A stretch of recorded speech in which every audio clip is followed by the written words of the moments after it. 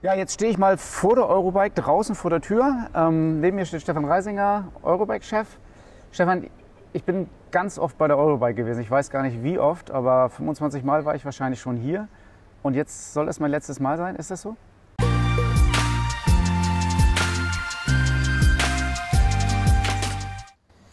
Also vielleicht das letzte Mal in Friedrichshafen, aber sicherlich nicht das letzte Mal auf der Eurobike. Weil mit der Eurobike geht es natürlich weiter. Ja, wir ziehen um. Das, das ist natürlich ein großer Schritt für die Messe. Aber ähm, genau, die Eurobike gibt es natürlich auch im nächsten Jahr wieder. Also im nächsten Jahr wird die Eurobike dann stattfinden in Frankfurt? Ganz genau. Friedrichshafen hat ja so ein bisschen die Vorteile, dass das irgendwie alles sich anfühlt wie Urlaub, ähm, dass es eine total schöne Umgebung ist. Ich kann mich ähm, noch gut an die äh, Demo-Days erinnern, die dann auch irgendwie im, im, Umland waren, wo wirklich tolle Mountainbike- und Rennradstrecken waren. Ähm, das ist so ein bisschen der Vorteil von Friedrichshafen gewesen. Was hat euch bewogen, hier wegzugehen?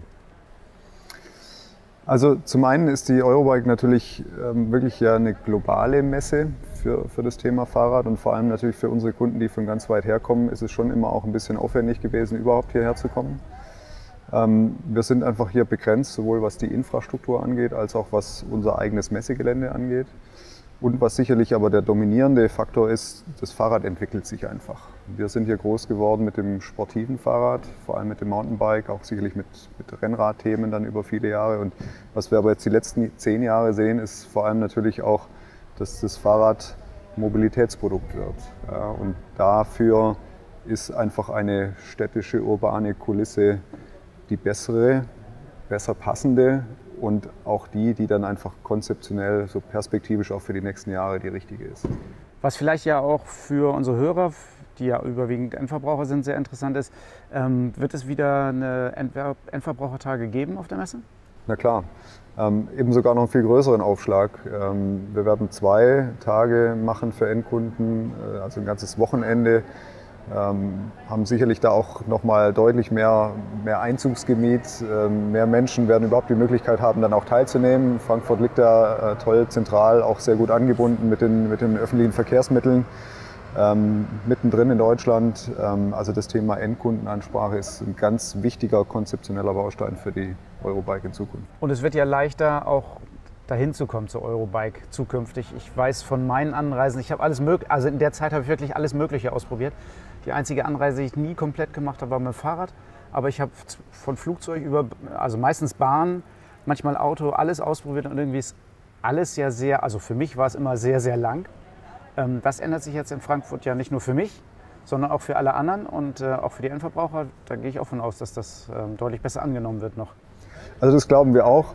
In, in, deinem Fall ist es natürlich auch wirklich so, dass wir diametral auseinanderliegen. Ne? Also weiter kann es ja gar nicht sein. Ähm, von daher, also Frankfurt bietet natürlich genau diesen Vorteil, dass es eben zentral liegt in, in Deutschland, dass es sowohl sagen wir, per Auto als auch per Bahn als auch per Flugzeug, egal ob aus Deutschland oder auch europäisch oder global gesehen, ist es natürlich perfekt erreichbar. Das Messegelände liegt ja mittendrin in der Stadt. Ähm, man ist in zehn Minuten zu Fuß vom Bahnhof da. Und von daher glaube ich, also egal wie man kommt, ob per Fahrrad, äh, Flugzeug, Zug oder Auto, da ist Frankfurt schon natürlich äh, eine Nummer. Du hast vorhin gesagt, ähm, Eurobike, internationale Messe, ähm, globale Messe, hast du gesagt. Ähm, jetzt sind wir in Friedrichshafen. Wir als Fahrradbranche hier auf der Messe ja in den letzten Jahren immer so, wie, wie man die Messe kannte, voll ausgebucht, äh, rappelvoll und eng. Eine große Nummer gewesen. Bist du dir sicher, dass wir in Frankfurt auch eine große Nummer werden? Also ich bin mir sicher, dass wir in Frankfurt eine große Nummer werden. Ähm, Im Moment ist vielleicht für nächstes Jahr die Perspektive ja noch nicht so ganz klar, ob irgendwie die Pandemie da wirklich schon ganz eingedämmt sein wird. Also das ist sicherlich ein kleiner Unsicherheitsfaktor, der auch die nächsten Wochen, Monate vielleicht noch bleiben wird. Aber wir müssen ja perspektivisch denken. Also nicht nur jetzt irgendwie an, an 22, sondern die Jahre darüber hinaus. Und also was uns da so sicher macht, ist, dass das Fahrrad ist das Mobilitätsprodukt der Zukunft. Ja? Und ähm, wir werden wir werden diese Möglichkeiten und diese Fazilitäten, die wir da haben, die werden wir brauchen und die werden wir füllen perspektivisch. In Frankfurt ist ja die IAA weggegangen und wird ersetzt jetzt durch die Eurobike Das heißt so, das Bessere kommt, das Bessere folgt. Genau, ist doch, das bessere Verkehrsmittel in jedem das Fall. ist doch eine super Nummer, Ja, oder? Finde ich auch. Also dann werden wir die beerben und machen es dann richtig groß, oder? Ganz- Ganz genau so. Ich freue mich da wahnsinnig drauf, äh, Frankfurt. Ich ähm, kann mir vorstellen, dass wir äh, von unserem Verband auch ein bisschen äh, was beisteuern können. Wir, wir haben richtig Lust und freuen uns auf jeden Fall auf Frankfurt und mit euch da eine richtig geile Messe zu machen. Also genauso geht es uns auch. Wir sind total motiviert, also auch mein Team. Für uns ist eine tolle neue Perspektive. Und ähm, das ist auch die Chance, natürlich jetzt nach 30 Jahren auch ein paar Dinge wieder neu zu machen und sich auch ein Stück weit neu zu erfinden. Und ich glaube, das ist das, was die Branche auch braucht. Sag noch mal ganz kurz für, auch ganz speziell für unsere Zuhörer. Ähm, du hast gesagt, es ändert sich ein bisschen das Thema, aber Mountainbike, Gravel, Rennrad, Sport wird immer noch äh, ein wichtiges Thema sein, oder? Das ist so. Also uns geht es ums Fahrrad. Ja. Wir, wir sind die Fahrradmesse, das wird auch in Zukunft so bleiben. Und natürlich wird auch das sportliche Fahrrad weiterhin eine ganz wichtige Rolle spielen. Das sind ja, das sind ja gerade die, die wirklich enthusiastisch dabei sind. Ja. Das sind ja die, die ähm, für die das äh, Lebensinhalt ist. Ja. Das ist eine ganz, ganz wichtige Zielgruppe, die werden wir auf keinen Fall vernachlässigen.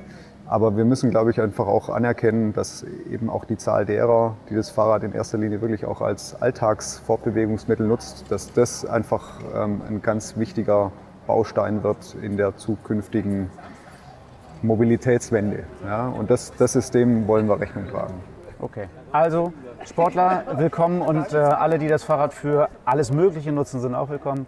Und dann Genau so. uns- Hast du den Termin nochmal vielleicht? Ja, klar, der 13. bis 17. Juli. im 13. nächsten bis Jahr. 17. Juli. Genau. Sehr schön. Dann freuen wir uns, sommerlich in Frankfurt unterwegs zu sein. Super, freut mich auch. Bis dahin. Ja. Bis dahin. Ciao.